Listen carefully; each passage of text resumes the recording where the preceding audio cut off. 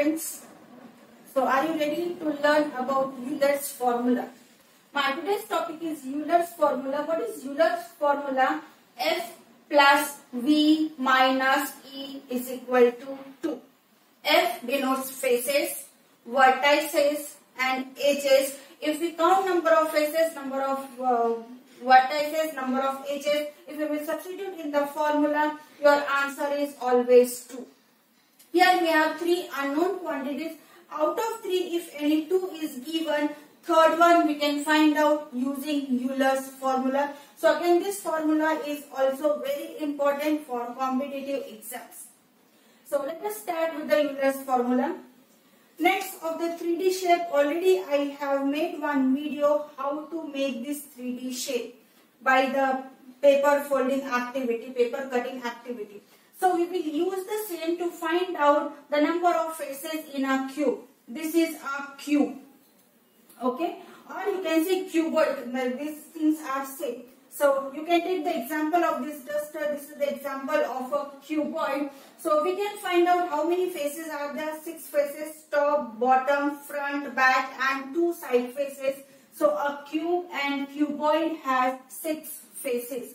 Now how many vertices you can see? Four vertices this side 1 2 3 4 similarly 1 2 3 4 so 4 plus 4 we have 8 vertices in a cube also in cuboid. Now edges. How to count the edges? Sorry.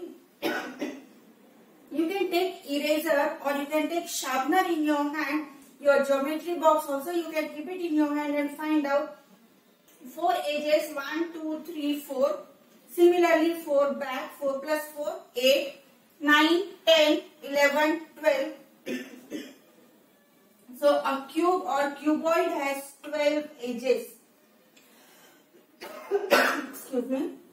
Now, substitute this value here. We need to add these two. 8 plus 6 plus 8 will give you 14. 14 minus 12 will give you 2. It means the things you have counted is correct. Now come for the square pyramid. This is your square pyramid. Okay. So how many faces it has? The base one is square and this one, two, three, four. So 4 plus 1, 5 faces. So we have here 5 faces. Vertices. For the square you are getting these 4 vertices and this top one you will get 1. So 4 plus 1 will give you 5 vertices. Now how to count edges?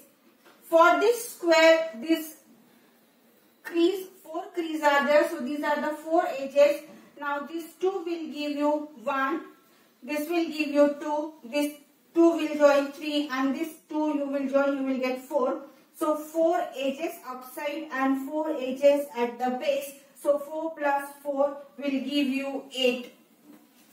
So a square pyramid has 8 edges. So again 5 plus 5, 10 minus 8 you will get 2.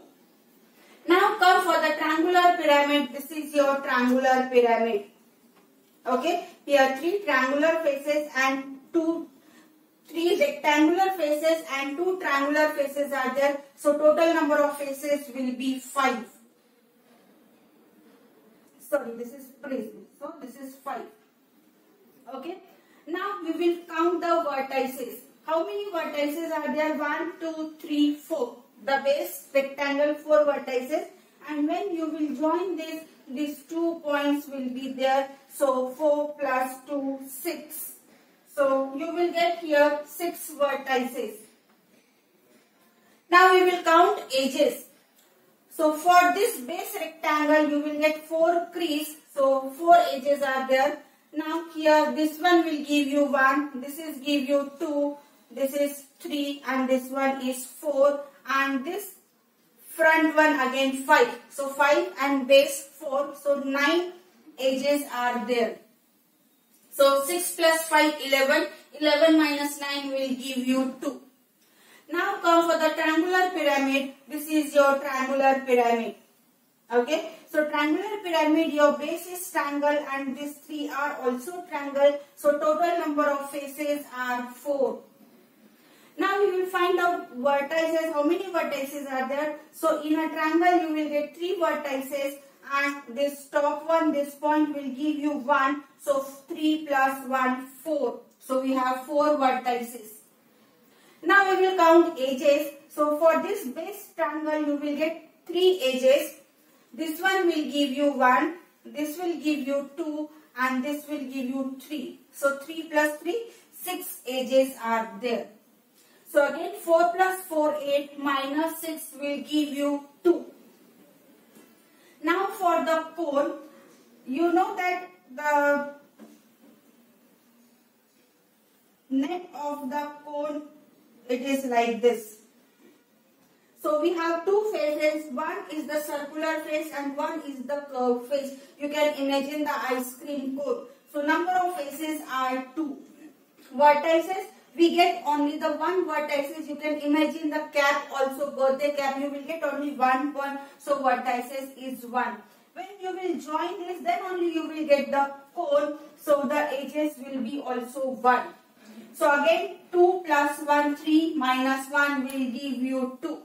So this is the way with this paper you can count the number of faces, vertices, edges. You can keep this in your hand. You can count this. You can make the table and substitute the values every time you will get 2. So this is called Euler's formula. Thank you for watching today's video.